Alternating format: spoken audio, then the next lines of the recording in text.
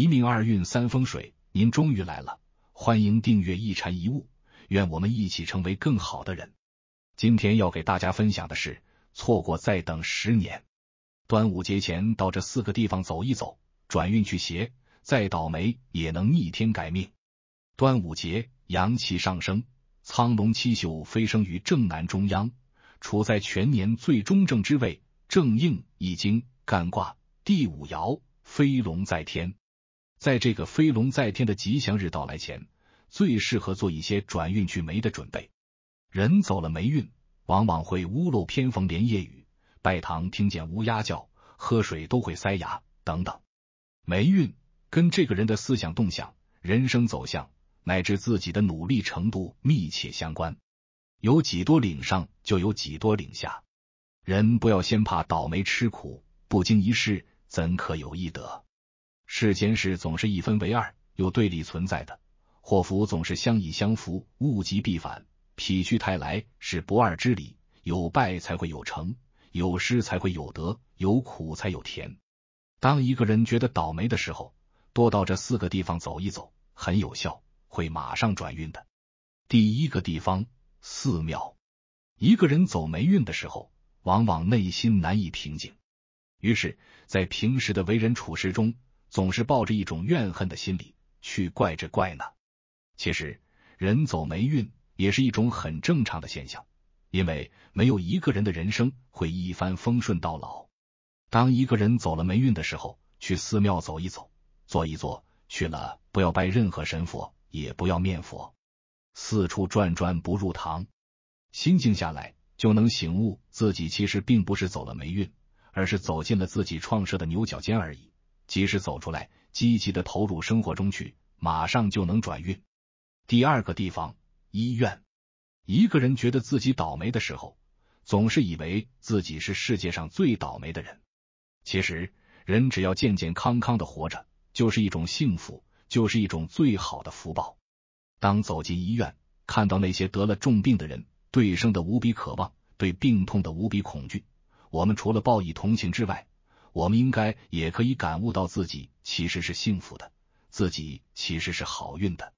霉运好运亦然，先是越霉，后便是越好；先是越好，后便越霉。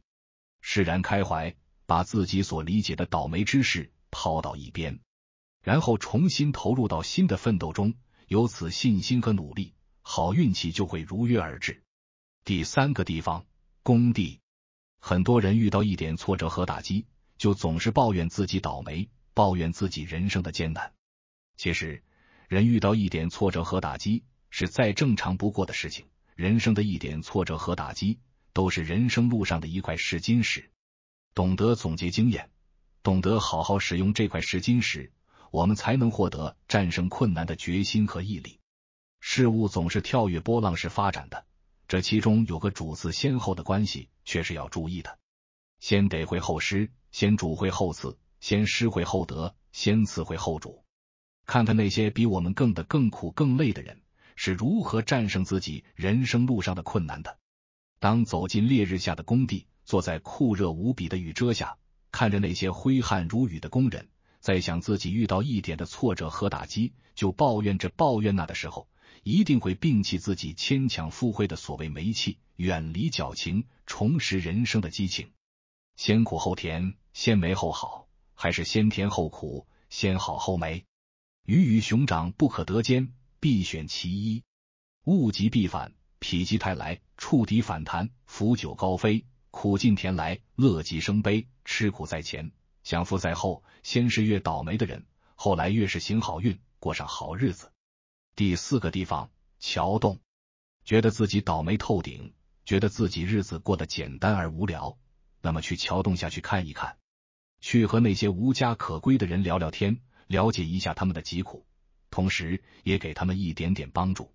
知道苦难和付出善意会让人幡然醒悟，原来自己还是幸福的，毕竟还能吃饱穿暖，就可以重拾生活的信心，继续为自己加油鼓劲。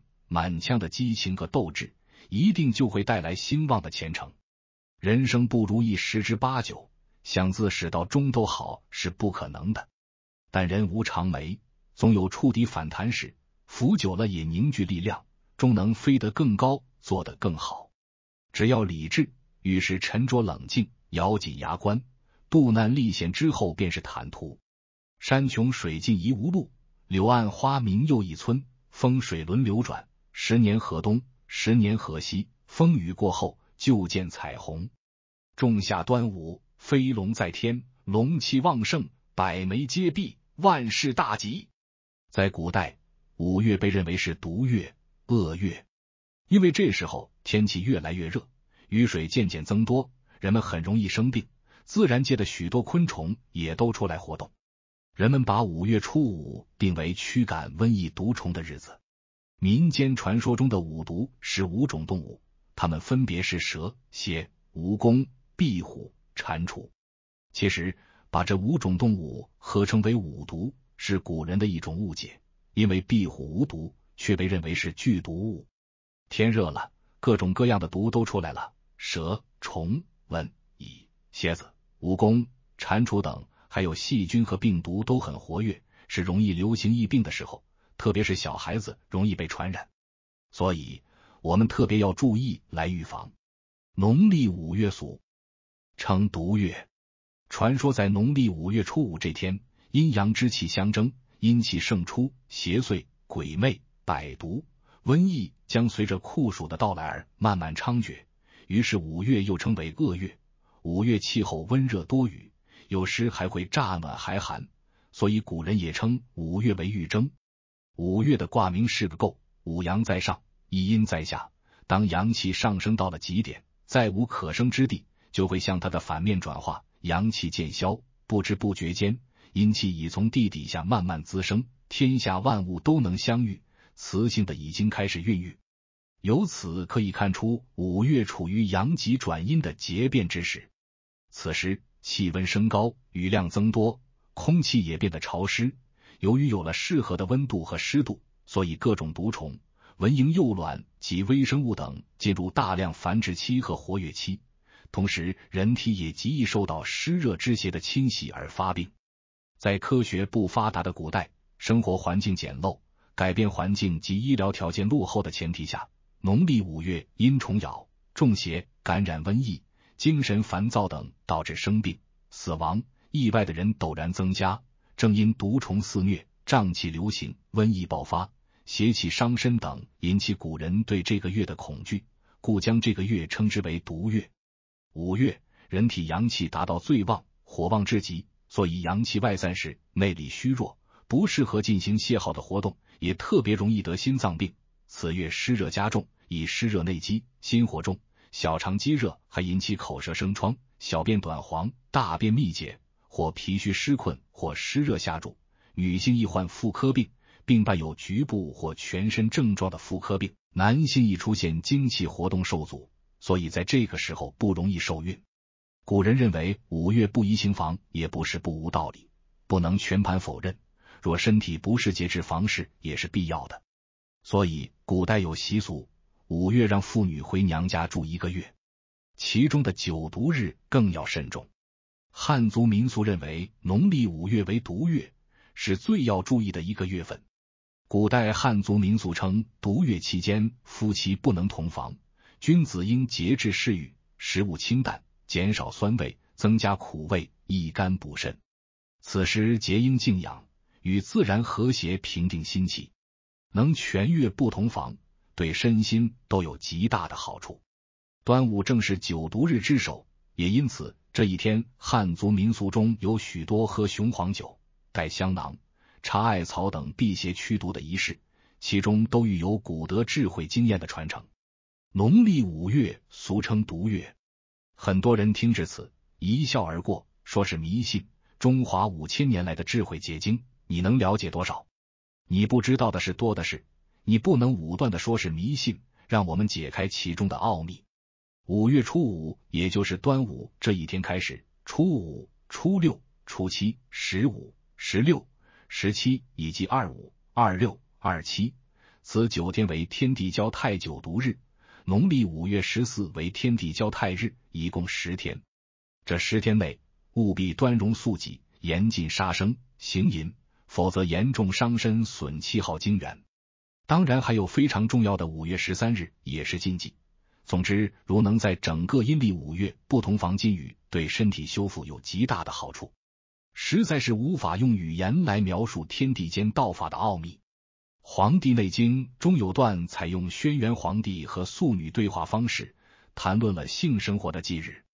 素女说：“每年农历五月是天地之气交合之日，男女不可行房，凡同房者不出三年必夭亡。”用什么可以验证呢？取白色新布一尺，于当晚悬挂东面墙上。第二天早上观看必有血色，切忌何妨。特别是性欲重的人，小心在五毒月失掉真阳，真阳一失，命不久也。五月为天地交泰之月，阴阳混沌不分，人体脏腑气血受极大影响，保精息命，凝神内守，方可安然度过。反映人身肚里空荡荡，走步无力，没有精神。对于这种规劝，许多人是不信的，但知道后又未必敢以身试法。农历五月十六日子夜观天象，天呈淡红色，子时是二十三时至一时，不是出晚霞的时辰。此时天色红必有原因。人类对大自然的认识是极为有限的。道一讲，人与宇宙为一体，人体五脏六腑接受天地运行的影响。此时的节气。乃阴阳相争、死生分判之时，宜从农历五月初一进起，借过一月，果能色欲准节，自可百病消除。今人各种突发病症，高血压、糖尿病、心肌梗塞等，每多腰腿酸疼、脊肩酸麻、四肢无力、背心发热、咳嗽不止，时而头昏头痛，时而眼花眼痛。秋冬则恶寒怕风，手足发冷。春夏则喉疼目红，腹痛必杀。正当年壮之时，乃见种种不足之症，推元其故，无不因未能节欲而来。其为病也由渐而深，由微而者，初虽所患尚小，久则酿成大病，不可不为死而谨守于先也。多欲伤生，断非药而能补，好色者是药以自愈，此亡身之本也。草根树皮之品，万难易髓填精，其能滋补者，不过偏阴偏阳，借以流通气血，及气血既亏，虽药食亦无从补救。古云服药百科，不如一消毒卧，甚无是药可补身。忌日与月球的运行有关，与地球绕太阳公转有关，与地球上天气变化有关。人在宇宙中是十分渺小的。天体的任何变化都会对人产生影响，这是已被现代科学证实了。中国古代的理论多靠哲学推理和统计学研，而不是靠实验室里的论证。至于古代养生学者列举的忌日的根据是什么，只有靠现代人去探研了。今天就分享到这里，好的风水在人心，感谢您的观看，不要忘了点点赞或订阅，您的支持是我最大的动力。